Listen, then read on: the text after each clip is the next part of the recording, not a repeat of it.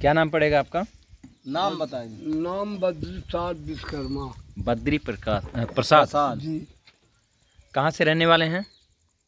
गाँव का नाम बताइए। गाँव दादर पश्चिमी बोलत। जिला रीवा। जिला रीवा। मध्य प्रदेश क्या दिक्कत था आपको? दिक्कत साहब यही बवासीर के दिक्कत रहा। कितने साल से? फिर अभी वो गोड़ हाथ बात के हुआ है तो नहीं कितने साल से बाबा सिर था आपका? बवासीर साहब हमका कम से कम दस बारह साल से तो ज़्यादा ही होगा अच्छा। हाँ मान ले पंद्रह साल हो गए हुई। तो दिक्कत होता था या नहीं? दिक्कत तो बहुत रही साहब टट्टी में दिक्कत बहुत जात रही। यह कैसी आज चार पाँच साल से हम्म। हमका टट्टी बंधी बहुत निकलत रही।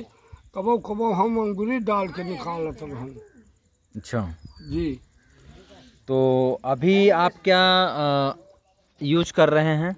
अब यह दवाई यूज़ से साहब हमका आराम है।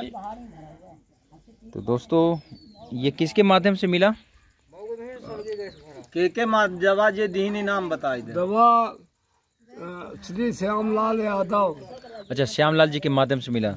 दोस्तों ये स्लीपियस वेलनेस का आयुर्वेदिक काढ़ा है और ये सिर्फ़ इस्तेमाल अंकल जी ने यूज़ किया और आज जो कि पंद्रह साल से पहले का ये बवासीर की समस्या था। और आज दो महीने यूज़ कर चुके हैं पी चुके हैं और ये तीसरा डिब्बा अभी खुला हुआ है। तो अभी पहले से सौ परसेंट में कितना परसेंट देना चाहेंगे? कितना परसेंट आराम है? आराम जितना है। अरे सौ परसेंट से तो साहब बहुत आराम है। मान ले के